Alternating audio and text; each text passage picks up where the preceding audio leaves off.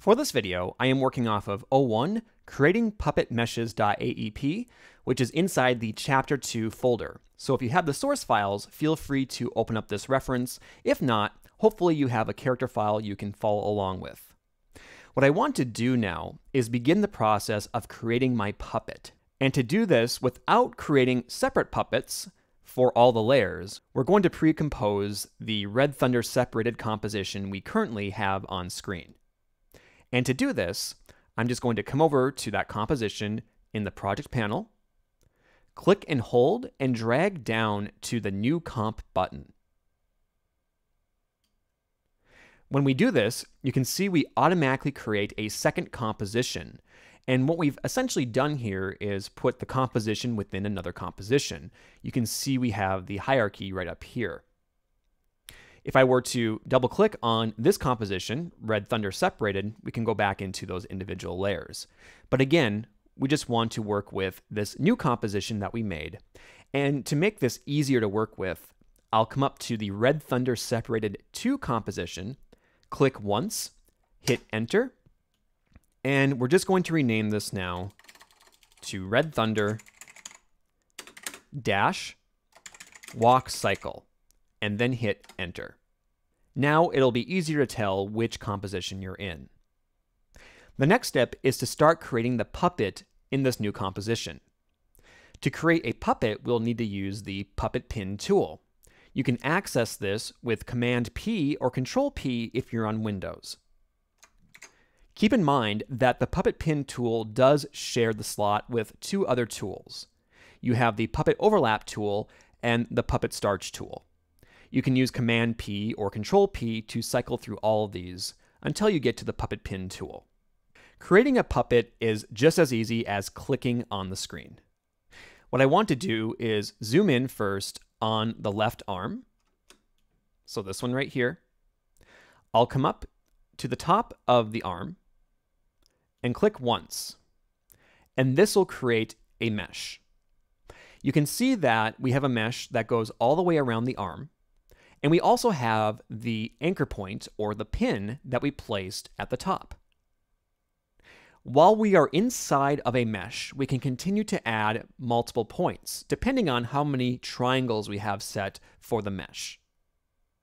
Let me come down here and add two more pins. I'll add one to the elbow, and we'll also add one to the hand near the bottom.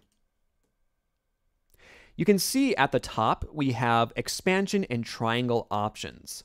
This allows us to set the flexibility of the mesh as well as the expansion. So let's say we are working with this arm and later on we go in Photoshop and make a correction. This could change the size of the arm, and if you already have animation in place, if the arm were to breach the mesh, you're going to get a glitchy looking result the object needs to be contained and wrapped around the mesh in order for it to work correctly. So the expansion allows you to go in and make those corrections, but keep in mind that if you have existing animation in place and you change the expansion, it also changes the shape of the triangles, which changes the way the mesh works. So just keep that in mind when making your adjustments. And as for the triangles, the more triangles you have, the more flexible, the more points you can add to a mesh. In this case, we're just going to leave it at 300 and we'll bring the expansion down to about 5. That way we have a little bit of room to work with.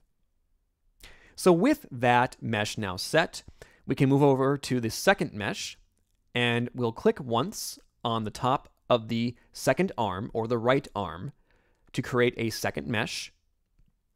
We can come down and click on the elbow and then down to the bottom of the hand to add the third pin. If you look in your effects panel, you'll see we now have two meshes lined up and ready to go. So let's keep going. Using the space bar, I'm just going to click and drag and bring my workspace down here so we can see the feet. And starting with the left once again, I'll come up and we'll click once on the top of the leg we will click near the center of the leg to create that knee joint. And then we can come down here and unlike the hand, we're going to actually add three points to the bottom. So there's one pin, two pins, and then three. So toes, arch, and then heel. and repeat the steps on the other side. So click, click, and then come down, add to the toes, the arch, and the heel. Finally, we're going to come up to the main portion of the character, the head and body. And we'll start at the top here. We're just going to click on the top of the antenna to add a point. We can come down to the hair, and at the top of that mesh, add a point. Come down to the bottom portion of the hair, add a point. We're just going to move down. Where we see the neck, near the center of the neck, we can add a pin. And then we'll come down here to, so close to the bottom center of the torso, we can add a pin. And then we'll come down and add a pin to the bottom of the pelvis. We now have five meshes for the puppet, and we're set to now reassemble the character so we can begin animation.